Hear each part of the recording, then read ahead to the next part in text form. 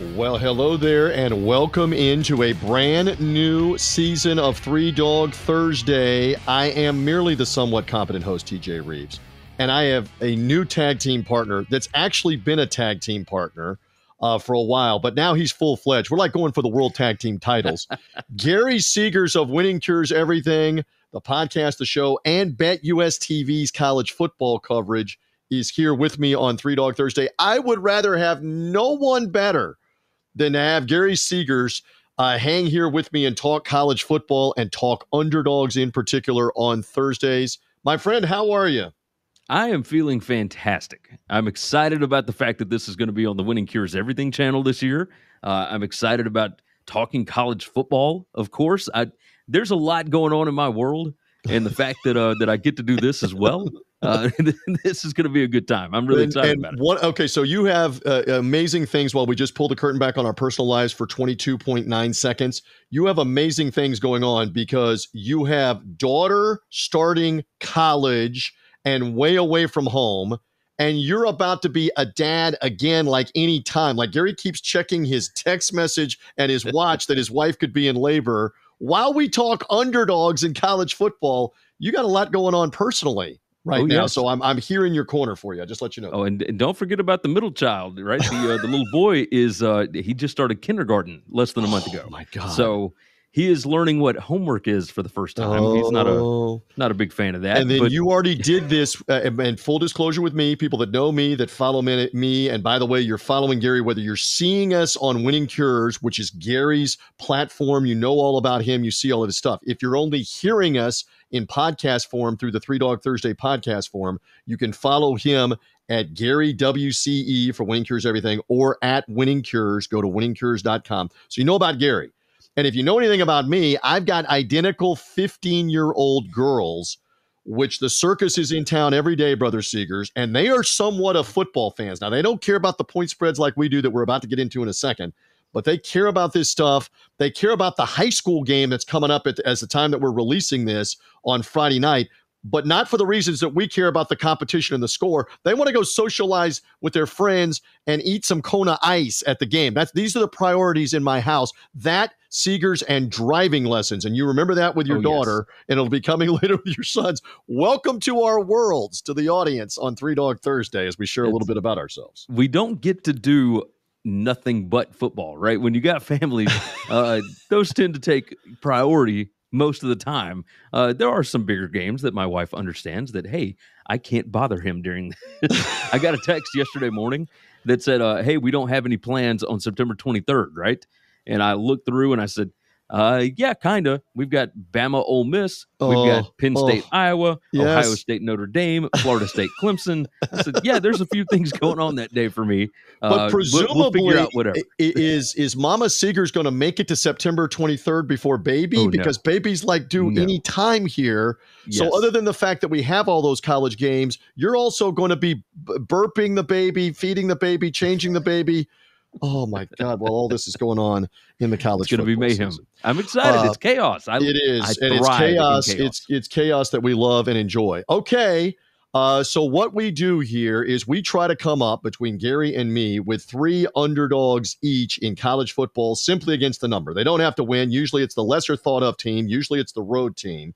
They don't have to win. They simply have to cover. So we're going to go over that. But this is week zero not not week zero as in it means nothing. It just means this is kind of the appetizer. This is the french onion soup. This is what do we have like seven games seven eight games before we have an onslaught of like 60 games next weekend next weekend? So this is a tease isn't it gary of just yes. a few games week zero? So seven FBS games. There are a few FCS games uh, that you'll be able to toss on, especially that morning and whatnot, to get you you know, it primed up before Notre Dame starts at 2:30 Eastern.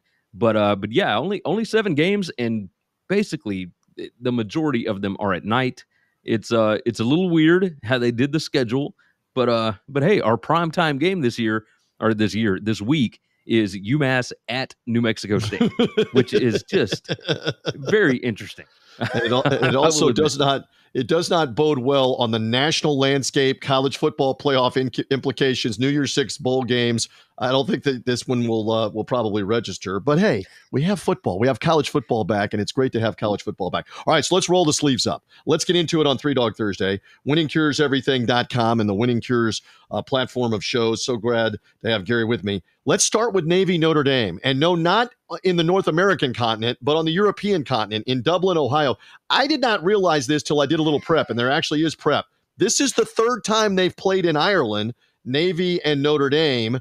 Uh, Notre Dame has won decisively the previous two times. I believe the last time they played was over a decade ago, like 2011, 2012. Yes. So it's not it's not the only time they've ever done this.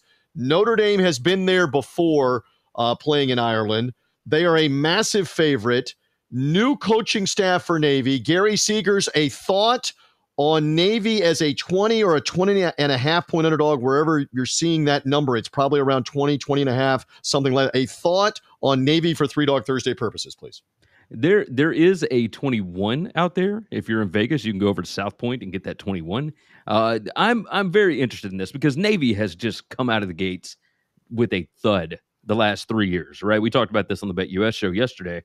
Uh, they, they lost to BYU 55 to three in that 2020 season to open the season.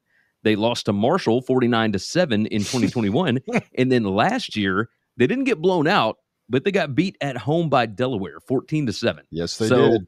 Not ideal starts. Now they've got the new coach, Brian Newberry. Uh, they've got a new offensive coordinator, going to throw in some wrinkles here and there, but for the most part, they are they're planning on still running the triple, which is interesting because the rules have changed, right? You, you can't do the cut blocks. You can't. That's uh, right. It, yeah, it, it's going to be it's going to be weird to see how they do this. Uh, however, this is a team that has been just fantastic against the spread. They are six and one against the number as a dog of 18 points or more in their last seven attempts. This dates all the way back to 2017, I believe. Uh, but they're four and two against the spread against Notre Dame in the last six. So, you know, it seems like a, a lot of points, especially week one. Uh, I think if you're on the Notre Dame side, you're expecting, you know, the new quarterback, Sam Hartman, to come out and really throw the ball around. New offensive coordinator Gerard Parker, he was the OC at West Virginia. Uh, he the the connection there, by the way, he and Marcus Freeman were on the same staff at Purdue uh, way back. Interesting. So yeah, that's uh, I'm I'm curious. I don't I don't trust Notre Dame's wide receivers yet. Uh, I don't think that Hartman has the same uh, the same weaponry, I guess we could say, at Notre Dame as he had at Wake Forest. Those Wake Forest wide receivers were incredibly underrated. Uh, I, I, think 20 and a half might be a bit too much. Uh, now, obviously, this is not an official play for me, but right, right. You know, if I had to lean one way, I would go Navy because I don't expect this to be super high scoring. The weather is going to play a big part in this because we are expecting rain and some winds over there. It's going to be like 65 degrees in uh, in Ireland, so yeah, I'm. Uh, I, I think that's where we would start is Navy as the dog here because I, it just feels like too many points for a game that could go slow, especially with the new clock rules, et cetera. Right. I love Gary's insight here. And again, typically we will go on the record with three underdog predictions each, and he and I may actually join in on the same underdog. In this case, with only seven games, I don't know that we're going to get three of them between us. So I, I hear your heavy lean. Here's my Here's my thing with this first year coach against a Notre Dame team that finished the season strong last year. Now, Navy did play them tough for whatever it's worth. A little bit different rosters. Sam Hartman's now the quarterback, the former Wake Forest quarterback, as you as you referenced, uh, when he was at Wake Forest last year. He's now the Notre Dame quarterback. So you can't compare everything. But Navy did uh, in the in the second half of the game. They hung in with Notre Dame. They covered. This is a new coaching staff. This one just screams, and I use this phrase all the time the two words stay away, stay away from Navy. I could totally see Notre Dame being up by 30 points in the second half of this game by piling up points in the second quarter and the third quarter. I know it's a lot of points, but to me, and it's a different continent. They're playing in Ireland. What's the field conditions if it's raining? I'll just stay away to me. You are you are leaning Navy. I stay away here. This is a final thought on that. That's I, I I'm with you uh, for the most part. I'm going to stay away. Uh, but we all know how it is. Guys like me, we want action on these games, especially the first one of the season. So I, you know, once it gets to game time, I'll be sitting there without a bet, and I'll probably log in and see what I can, uh, what number right, I can find. Maybe live, maybe bet it live if Notre Dame has scored a couple of times. Uh, Very it possible. often is the case.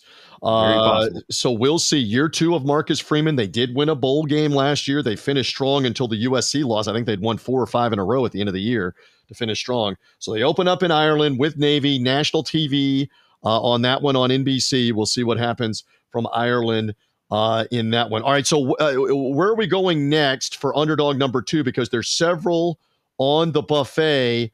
Do I do I dare see the first ever now that they're elevated to FBS Division One, the first Division One game and a conference game for Jacksonville State. This is not Jacksonville, Florida. This is Jacksonville, Alabama. They've been elevated to Conference USA to play Texas El Paso, the UTEP Miners weekend zero, a conference game, and you are intrigued by this, Gary Segars, for Three Dog Thursday purposes.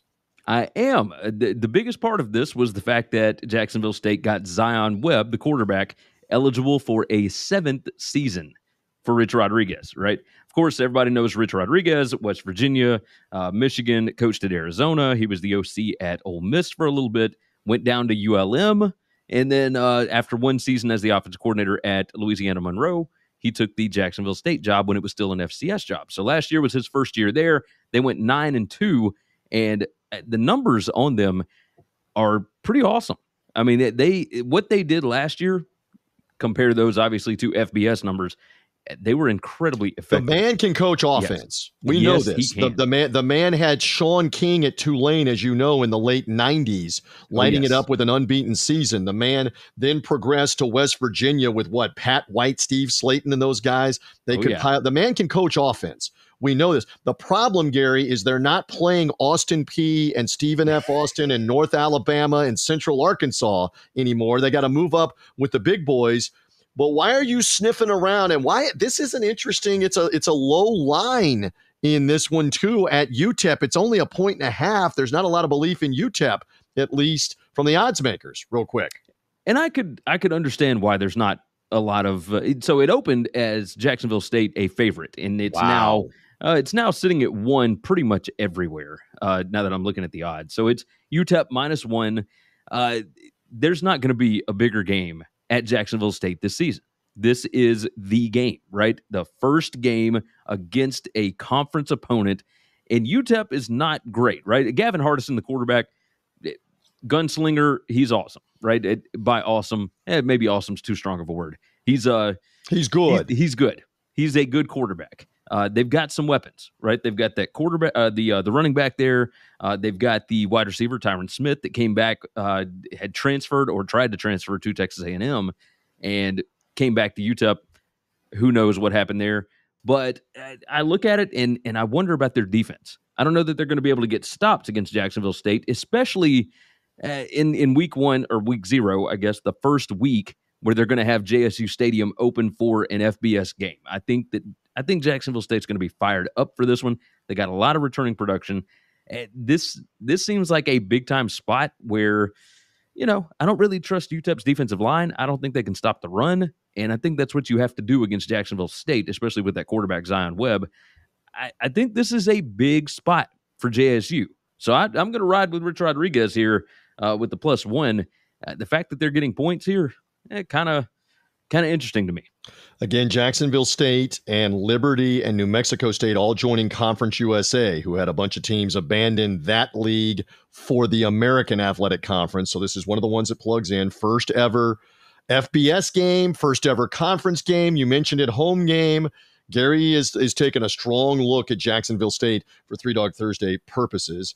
Uh, again, whether you're seeing us through the Winning Cures Everything platforms, their YouTube, their social, Gary and, and I have teamed up for Three Dog Thursday, as well as the audio podcast, Apple Podcasts, Google Podcasts, Spotify, Spreaker, everywhere for Three Dog Thursday. Thank you for finding us. Just a couple of more moments left and a couple of more games you i had to kind of talk you into this one a little bit. It is a large line. It is hawaii coming some 4500 miles to the east from honolulu to nashville. I looked it up. Original research gary. About 4500 miles depending on where you are on the on the island of oahu to get to nashville.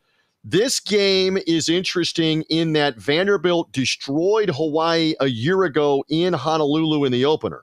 Return game A lot of people may or may not realize the famous Hawaii quarterback Timmy Chang is the coach. Uh, Chang, by his own admission, said, We're going to need a couple of years to undo the mess of Todd Graham, the recruiting problems, the problems post COVID 19 with being able to recruit and bring people to Hawaii. It's going to take two or three years before we're credible again. All right, so year two begins in Nashville. Vandy had a couple of wins at the end of last year. They've got some guys returning. Again, we've got a line. What is the line? Like 17, 17 and a half. 17 and a half. Yeah. I don't know what right to now. make of this with Hawaii in Nashville against an SEC team who destroyed them a year ago. Give me a quick thought on this. So here's what makes this interesting, right? It was 63 to 10 last year, just a complete beatdown. And yet there are some really, really sharp guys, right? Some some major league betting sharps that are all over Hawaii this week. I mean, all over them. And I cannot understand it. Now, there is something to be said, right? Hawaii last year started Mike Wright at quarterback. This year, they're going to start AJ Swann. Wright is still on the team. Uh, he ran for 500 yards on like 10 carries last year. I mean, it was it was wow. absurd. He was just blowing by everybody. Um, but their leading rusher, Ray Davis, uh, he left Vanderbilt to transfer to Kentucky. He was their thousand yard rusher. He averaged like four and a half yards a carry. The guy that's behind him, uh, Patrick, and I forget the name, but uh, that guy, uh, I've got the name right here. As a matter of fact, let's see, Patrick. Live show research on yeah, the fly. Patrick, we love it. Patrick Smith. There we go. Averaged less than three yards per carry on only 56 carries. So that's who they expect to be their starter. I I wonder about this because I think that Vandy just has way too much talent. However, uh, my little preseason formula that I put together, I've got Vandy favored by 14 and a half points. So that's not 17 so and a half. for three dog Thursday purposes, line is maybe a little inflated here. Three, a three and bit. a half points. Take a it's, look. It's, I'll tell you this. What I don't like about this for Hawaii, they have to turn around and go back home. As you said, like 4,500 miles. They're going back home for a Friday game against Stanford, wow. Which is a big one at home. I wonder how much of this game is we're not so worried about winning. We just want to get in, go through the reps, make sure that we're ready for that home game. Stay healthy right? and then get yes. back quickly. And typically, what they do, you know this, but for the audience, is when they will come to the mainland United States, they will stay, especially early in the year, a couple of games and maybe even three games as opposed to any back and forth. So that's fascinating, as you mentioned on the schedule and that quick of a turnaround. How Have you seen engaged- their schedule? Yes. Yes. Hawaii's schedule is crazy this year. It is so it is constant, just back and forth. It's road game, home game, road game, home game. The only time that they have two games back to back uh, in the same area, either mainland or at home, is week one and week two. That's against Stanford and against Albany. And the whole rest of the year, it's road home, road home, road home, the whole season. So yeah, I'm I, looking I here after the Albany game that you're going to Oregon, but then you're coming back home to your point to play New Mexico State.